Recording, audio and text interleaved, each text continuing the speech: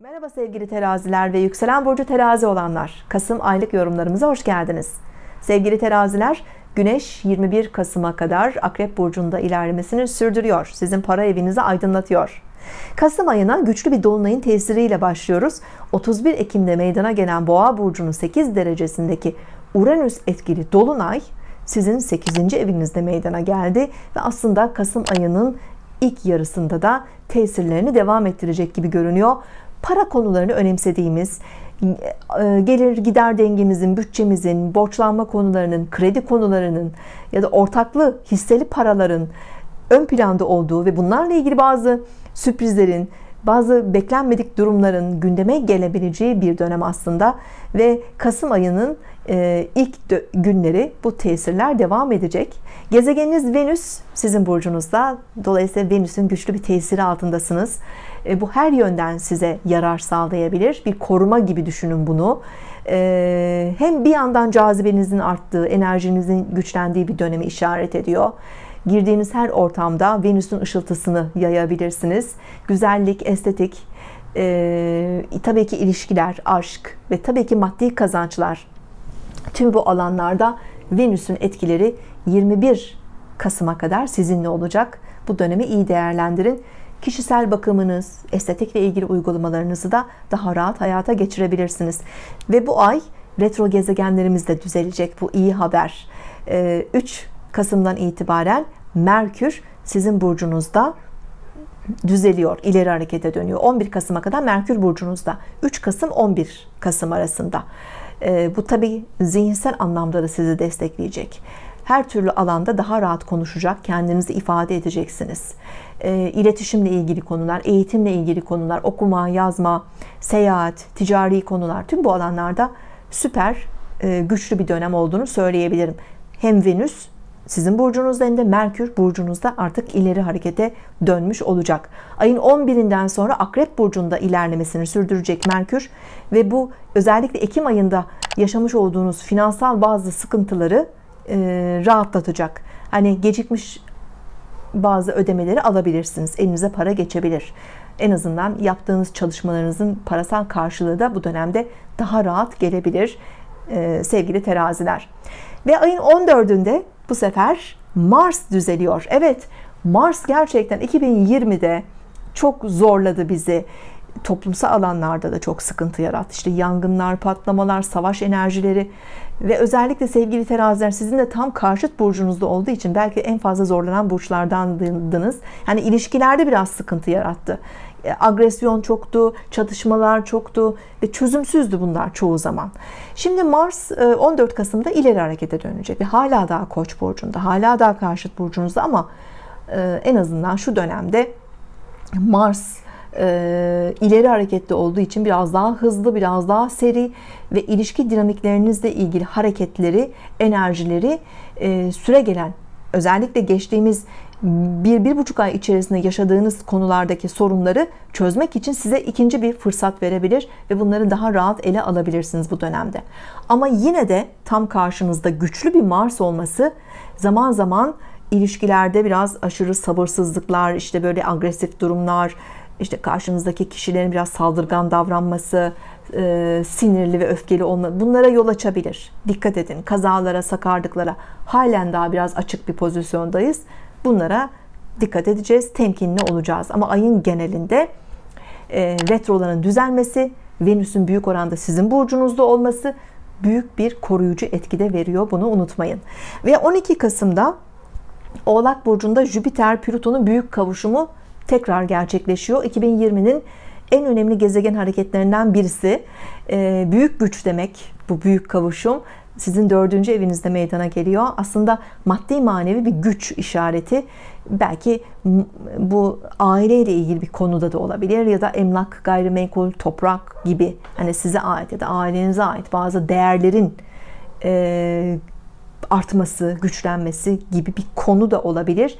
Ebeveynlerle ilgili konularda da güçlü tesirler var. Tabii ki bu etkiler altında siz de belki ailede kendinizi e, daha güvenli, daha e, huzurlu hissedebilirsiniz. Ve 15 Kasım'da bu tesirler altında e, Akrep Burcu'nun 23 derecesinde yeni ayımız doğuyor. 2020'nin en verimli, en güçlü yeni aylarından birisi doğacak. İkinci evinizde, para evinizde. Ee, Merkür ile Mars artık retro değil, ileri harekette ve üstelik bu yeni ay sırasında Güneş ve Ay Oğlak burcundaki Jüpiter'den, Plüton'dan güzel bir destek alıyor. Parasal anlamda güçlü bir yeni ay sizin için. Yani kendinizi garantide hissedebileceğiniz koşullar oluşabilir. Yatırımlar yapabilirsiniz. Ev mi almak istiyorsunuz? Ev almak. Gayrimenkule yatırım yapmak, toprak almak. Veya mülkleriniz var. Satmak istediğiniz bir mülkünüz var ve uzun süredir de gecikiyor, erteleniyor. Bir türlü anlaşmakla zorlanıyorsunuz. Şimdi bu yeni ay evet size ait bir mülkün satışı ve buradan elde edilecek para anlamına gelir veya daha istikrarlı anlamda iyi bir kiracı bulup kiralayabilirsiniz mülkünüzü ve buradan da yine belki istikrarlı, güvenli bir para gelişi size olabilir. E, aileden destekler alabileceğiniz bir dönem. E, ebeveynlerinizden maddi destekler, manevi destekler alabilirsiniz veya onların bir sorunu var. Bunları çözüme kavuşturabilirsiniz. Onların iyi olduğu, güçlü olduğu bir dönemde olabilirsiniz. Çalışma ve para konularında e, birçok terazi belki yeni girişimlerde bulunacak para kazanma adına. Ve bunlar evde de olabilir. Evde de yapabileceğiniz işler olabilir. Bireysel kişisel işleriniz olabilir. Bunlar adına da bir kapı açılabilir bu yeni ay döngüsüyle beraber. Lütfen kişisel doğum haritalarınıza bakınız sevgili teraziler. Özellikle 23 derece ve yakınlarında sabit burçlarda yani akrep, boğa, kova, aslan gibi burçlarda gezegenleriniz varsa bu yeni ayın size çok daha güçlü tesirler getirmesini bekleyebiliriz. Ancak e, su ve toprak burçlarımız daha iyicil etkiler alıyorlar.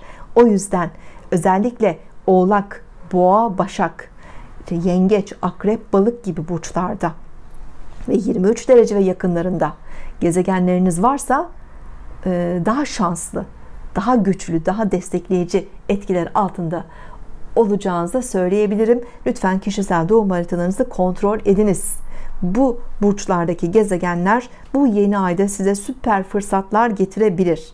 15 Kasım'dan itibaren yeni ayın doğmasıyla beraber ay sonuna kadar ayın ışığı yavaş yavaş büyüdükçe e, tesirler de hayatımıza girmeye başlayacak. 21 Kasım'da Güneş artık Yay burcunda ilerlemeye başlıyor. E, üçüncü evinizde Güneş ilerlemeye başlayacak.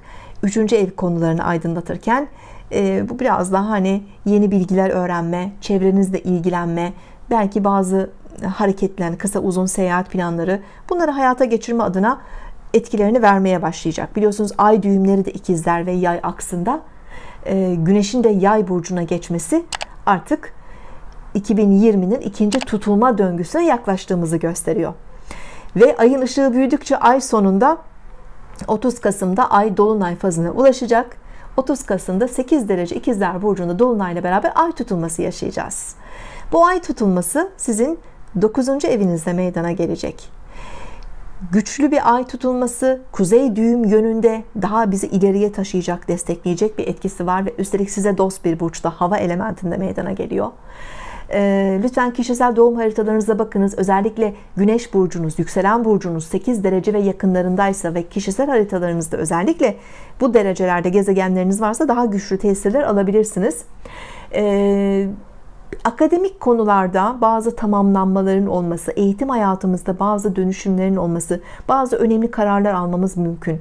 Hayata bakışımız, inançlarımız, beklentilerimiz değişebilir. Yeni fikirler, yeni düşünceler, yeni hayaller kurabiliriz. E, ufkumuzun geliştiği bir dönem ya da yeni ufuklar belirliyor hayatımızda, yeni vizyonlar oluşturuyoruz. E, bu dolunayın tesirleriyle beraber. Tabii ki iletişimin çok öne çıktığı bir dönem ki hani bireysel anlamda işinizin tanıtımı, reklam, promosyon olabilir, internet üzerinde, sosyal medya üzerinde yapılacak her türlü bazı yeni çalışmalar olabilir. Bunlarla ilgili gelişmelerin gündeme gelip açığa çıkacağı bir dönem veya daha önceden yapılmış girişimlerin sonuç vereceği bir dönem. Mesela hukuksal bir işiniz varsa, bir davanız, mahkemeniz bununla ilgili bir konu da tamamlanabilir. Ya da bilmediğiniz bir konu açığa çıkabilir örneğin. Uluslararası konulardaki hedeflerinizin yine gündemde olduğu bir süreç. Yurt dışı konuları, yurt dışı seyahatleri, uluslararası alanda yapılacak ticari girişimler, iş planları, belki eğitimle ilgili yine yurt dışı ile bağlantılı eğitimler bunlarla ilgili e, bazı kapıların hayatınızda açılabileceği, bazı önemli kararlar verebileceğiniz, dönüşümler yapabileceğiniz çok güçlü bir dolunay dönemindeyiz ve ay sonuna kadar, yıl sonuna kadar aslında önümüzdeki bir ay bu ay tutulmasının tesirleri de devam edebilir sevgili teraziler. Evet önemli bir ay. 2020'nin güzel aylarından birisi. Özellikle e, Ekim ayında yaşadığımız o zorlukların, sıkıntıların ardından Kasım ayında birçok sorunumuzu çözebiliriz. Yavaş yavaş parasal konularda rahatlamaların hayata geçebileceği bir dönemdeyiz. Ee, ev, aile, yuva ile ilgili, parayla ilgili, yatırımlarla ilgili beklentilerimiz daha güvenli bir şekilde hayata geçebilir. Ve özellikle yeni hedeflerimize odaklanıp e, belki bir süredir devam ede gelen bazı eğitim gibi, yurt dışı gibi konulardaki e, beklentilerimizin de sonuç vereceği e, yeni fikirlerin, yeni düşüncelerin, yeni planların hayatımıza geçebileceği verimli ve güçlü bir Kasım ayı e, bizi bekliyor sevgili teraziler. Sağlıklı, mutlu, başarılı bir ay dilerim. Sevgili astroloji severler, herkes için yeni astroloji eğitimimiz başlıyor. Siz de astroloji ile ilgileniyor, takip ediyor ve rehberliğinden yararlanıyorsanız ve öğrenmek istiyorsanız sizi de eğitimlerimize bekliyoruz. Astrolojiye ilgi duyan, takip eden, rehberliğinden faydalanmak isteyen herkes temel ve orta seviye astroloji eğitimlerimize katılabilir. Temel ve orta seviye eğitimlerimizin ana amacı öncelikle sizin kendi kendinizin astroloğu olabilmenizi sağlamaktır. Eğitimlerimiz boyunca doğum haritanız üzerinde birebir çalışmalar yapılacağı için bu eğitimi tamamladığınızda doğum haritanızın tüm detaylarını, potansiyellerinizi ve yaşam amacınızı da öğrenmiş olacaksınız. Kendi kendinizin astroloğu olduktan sonra yakınlarınızın, ailenizin ve arkadaşlarınızın haritalarına bakarak onların da astroloğu olabilir, yaşamlarında rehberlik edebilirsiniz. Astroloji derslerimiz online platform üzerinde olacağı için dünyanın hangi şehrinde, hangi ülkesinde olursanız olun bilgisayar üzerinden eğitimlerimize canlı olarak katılabilirsiniz. Canlı katılamadığınız takdirde de yapılan dersler kaydedileceği için her zaman istediğiniz kadar dersleri tekrar izleme, takip etme imkanını bulabilirsiniz. 2012 yılında bilinçokulu.com platformu üzerinde başladığımız online eğitimlerimiz her yıl düzenli olarak devam ediyor. Siz de bu yıl düzenleyeceğimiz eğitimimize katılabilir, öğrencilerimiz arasına girebilirsiniz. Tüm eğitimlerimiz ve dersler sırasındaki öğrencilerimizin harita incelemeleri tamamen benim tarafından yapılmaktadır. Astroloji eğitimimize katılmak istiyorsanız lütfen 0507 607 50 17 WhatsApp hattımıza isminiz ve doğum bilgilerinizle beraber mesaj atınız. Hemen size geri dönüş yapacağım.